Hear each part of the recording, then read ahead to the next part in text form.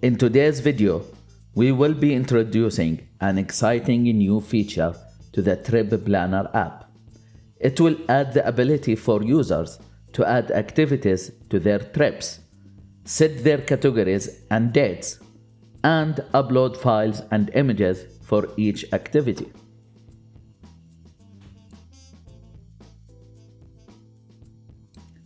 We will update the Amplify API to retrieve and process the trips activities data. The API is a GraphQL API that uses AWS AppSync.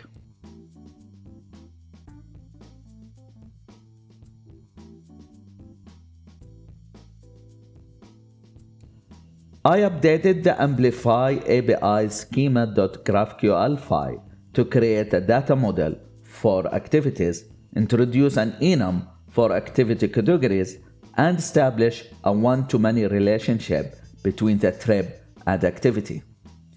This will enable the app to store and manage activity data and associate it with the appropriate trip.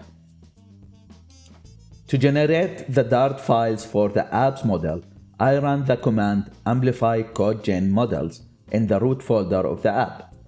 The amplify CLI created the necessary Dart files in the lib models folder.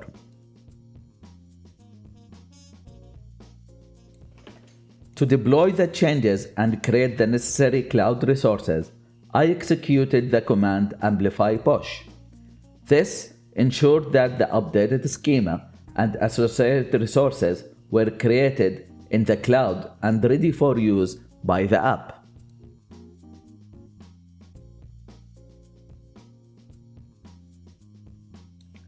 To organize the code for the new activity feature, I added a new folder inside lib features and named it activity.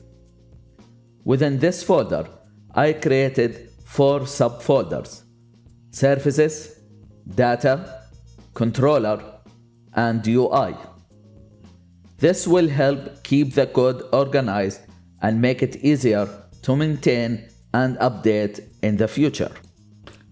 I updated the routes.dart file to add the enum values for the activity feature.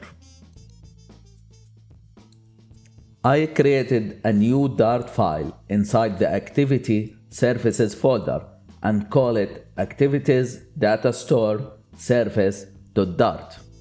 I updated the file to create the activities data store service, which contains several functions, such as listen to activities for trip, which will query the data store and streams a list of activities for a specific trip. It will also contains functions for adding, deleting, or updating the activities in the Amplify data store. I created activities repository.dart file inside the activity data folder. In this file, I created the activities repository to abstract away the networking code from the activities data store service.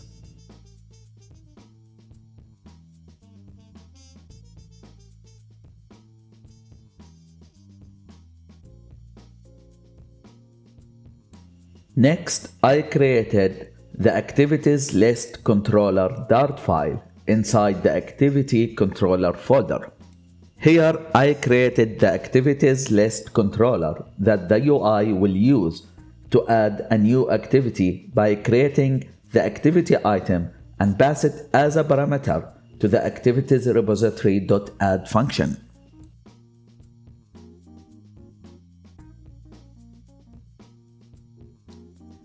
In the UI folder, I created the Dart file activity category icon. In this file, I created a stateless widget to allow the app displaying an icon representing the activities category.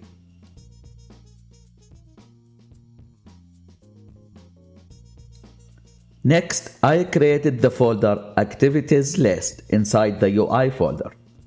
Inside it, I created the file activitieslist.dart. The activities list is a consumer widget that will use the activities stream provider to get a list of activities for a specific trip. It will display those activities in a timeline.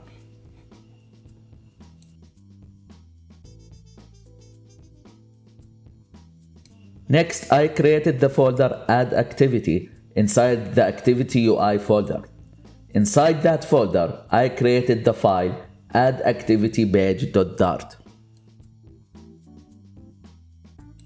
In this file, I created a consumer widget to present a form to the user to submit the required details to create a new activity for the selected trip.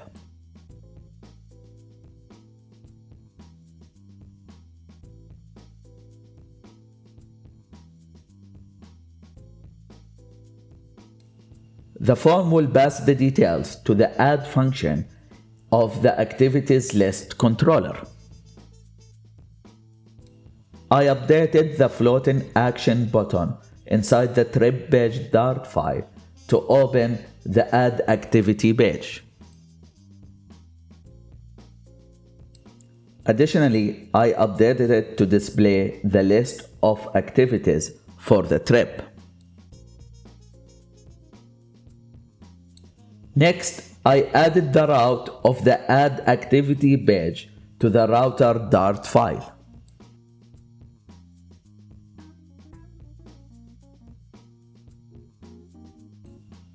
I created the activity controller inside the controller folder. The UI will use this controller for editing and deleting an activity using its ID. It will also use it for uploading a file or an image for the activity.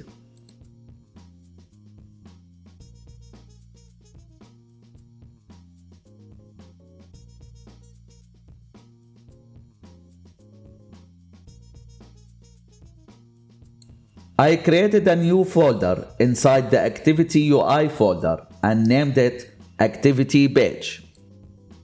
Inside it, I created the file delete activity dialog. I updated the file to display a dialog for the user to confirm deleting the selected activity. I then created the Dart file activity page. This is a consumer widget that will use the controller to get the activity details using the activity ID and then display it.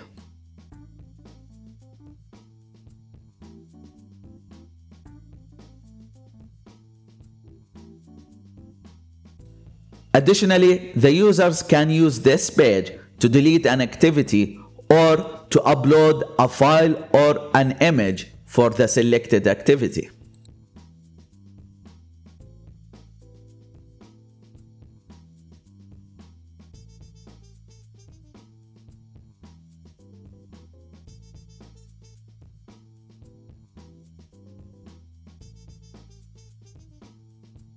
I updated the router Dart file to add the route of the activity page.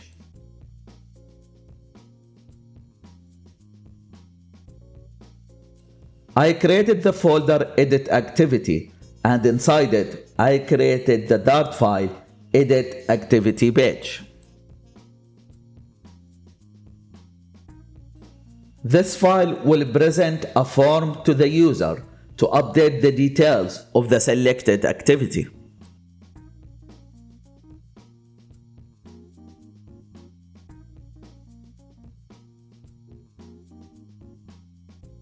When the user complete the changes and submit the details, the file will use the activity controller provider to update this activity.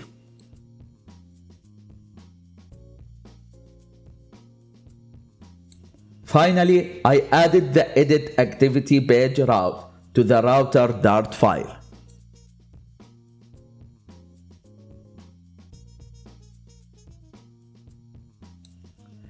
I ran the app and created a trip.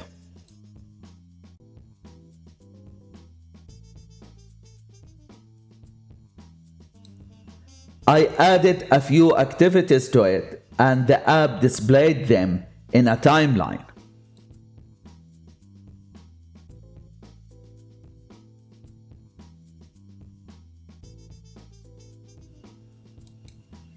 I can successfully edit or delete the activity.